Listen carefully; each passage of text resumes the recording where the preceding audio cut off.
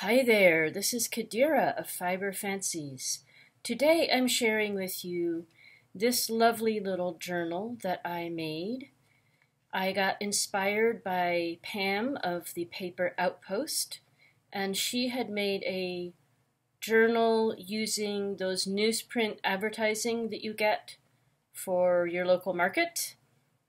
And I decided to use a newspaper I had which I cover with paper instead of fabric, which is what Pam had used.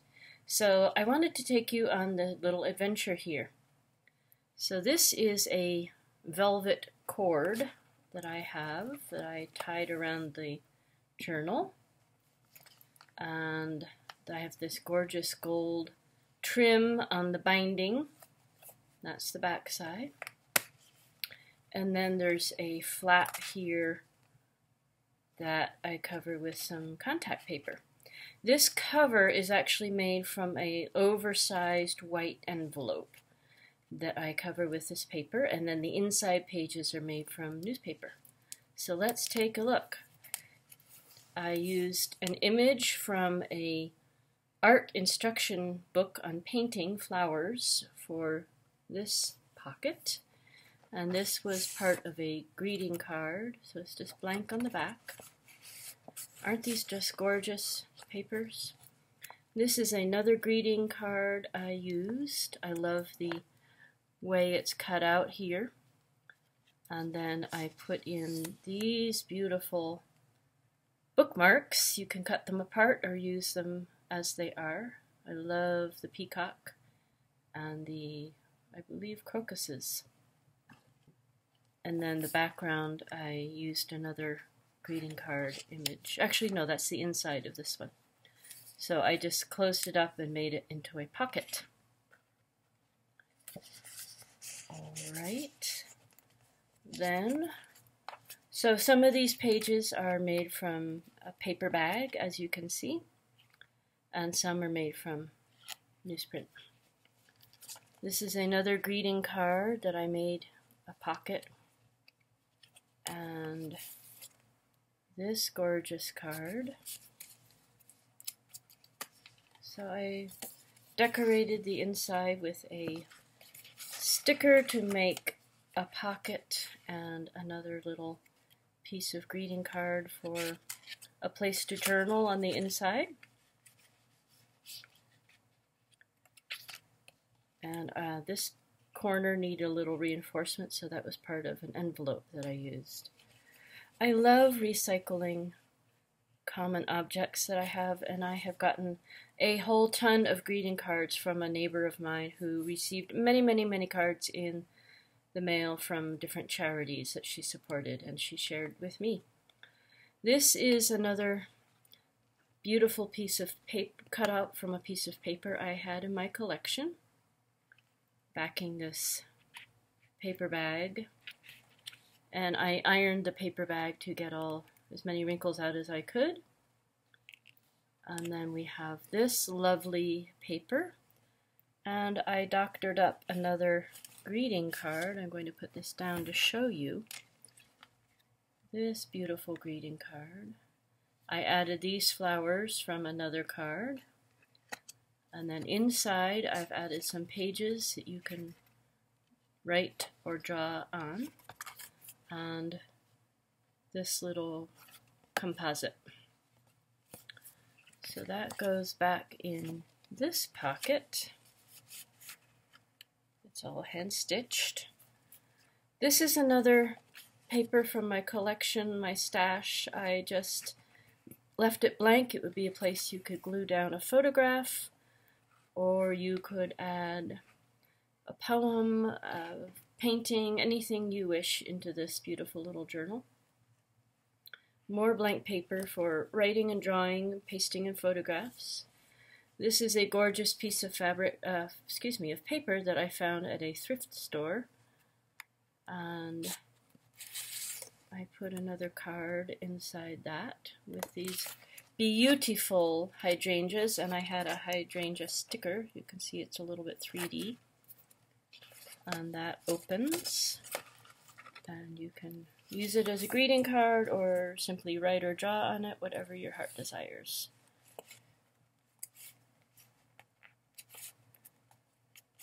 And I love the butterflies on this paper. Let me turn the page and we're getting to the newspaper section. So again, this is cut out from that art instruction book. And I had this little flower to add, a little piece of paper that I charred the edges with a match. A little bit dangerous to do.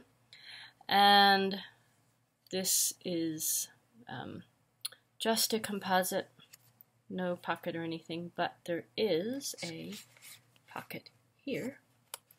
Oh no, that's the hydrangea. Never mind. Anyway. And then we have this gorgeous bluebird that I cut out of another um, greeting card. And look at that. More bluebirds. So again, a little tiny scrap can be used to write or draw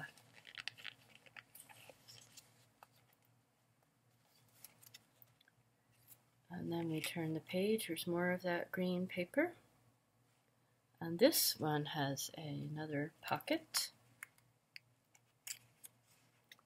with a card inside, and it will come out, I promise. Oh no, it's not a card. I haven't put anything in it, that's why it just has this lining. Okay, I need to put something in it or leave it open for someone else to add. This is another greeting card that I found and this is a card I made from a page from a magazine. Isn't that beautiful? And I added some teddy bear stamps. You can see there. And then on the back, miracles happen to those who believe. And then some music paper. There's so much space for writing or drawing or adding photographs as you desire. Okay. Another, oops. This is another piece of paper I found at the thrift store when I found the green. There were just two loose sheets of paper that um, I got for, I don't know, 10 cents or something. And it is so beautiful, I didn't add any embellishment to this couple of pages. Okay, turning the page, we have another beautiful, I think that is an oriole bird, and another greeting card I put in the middle, which is blank inside. More music paper in the back. More images from the journal, I mean the art instruction book.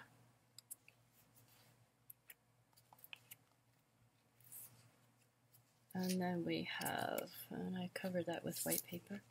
Then I put in a couple of envelopes with beautiful greeting cards.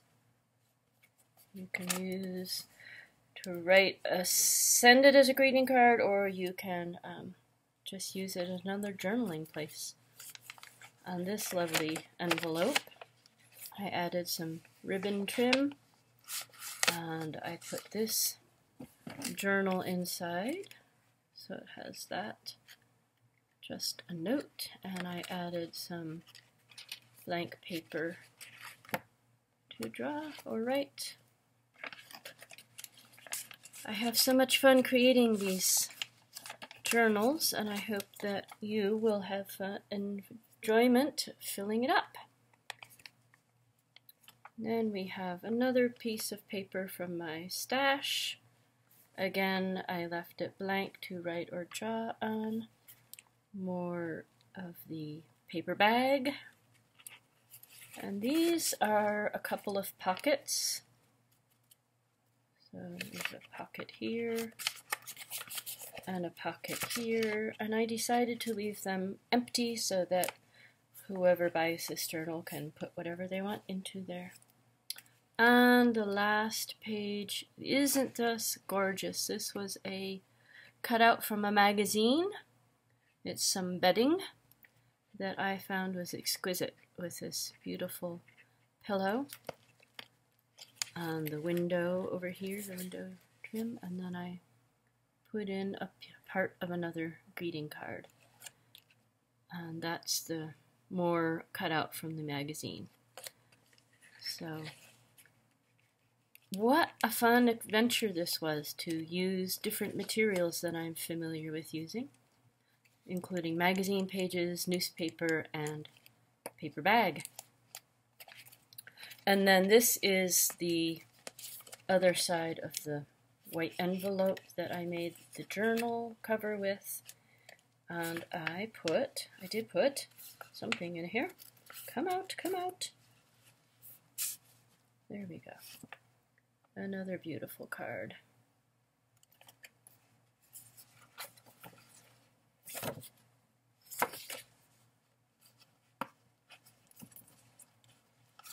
Come on, get in there. All right. And then I used a little of this orange paper to line the inside of the envelope flap. And it closes up like that.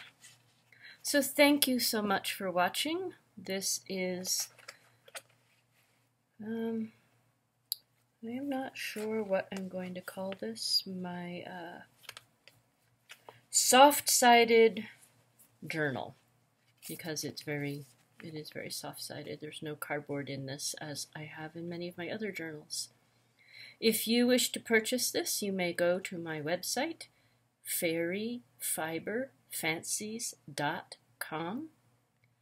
Go to the musings page and I will post this with the um, size and the price. I will I put those that information on every photograph in my website. All you need to do is click on any photograph to see prices and specs.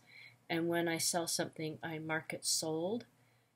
Uh, it's always a good idea to ask just to make sure, because once in a while I have missed writing something is sold.